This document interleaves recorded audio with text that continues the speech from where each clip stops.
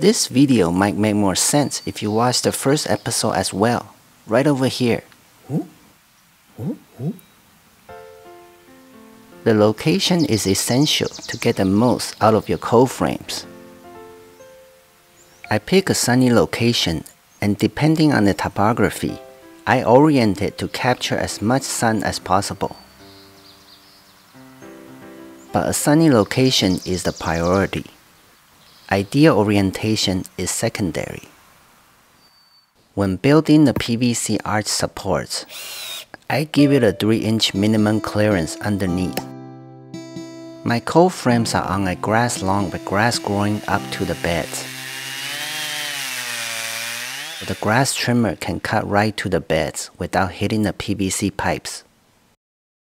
These metal brackets secure the arches tightly on the 2x4 ridge, like ribs to a backbone.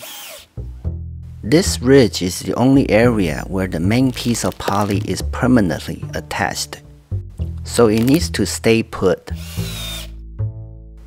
The ridge will eventually shift and slide if the brackets are too loose. And if too tight, the pipes will crack. The best is to sandwich a piece of flexible material between them, making the connection tight but flexible.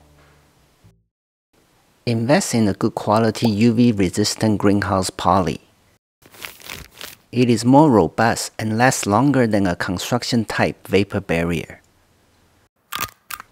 To make a strong and durable connection here, temporarily staple and roll the poly around the wood at least one complete turn before finally screwing it down.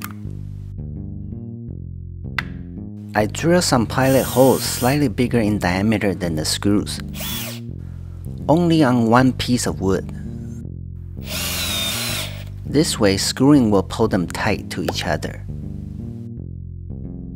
Under high wind conditions, I can quickly secure the poly with some bungee cords and nails.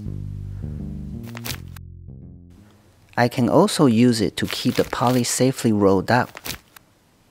However, I rarely do that as it tends to stay put when rolled up. Whether using a shade cloth or bug screen on the cold frame, these affordable clamps are ideal. They are flexible and are available everywhere in stores. But don't use clamps that have too much force which might damage the pipe. Please give me a thumbs up if you like my video.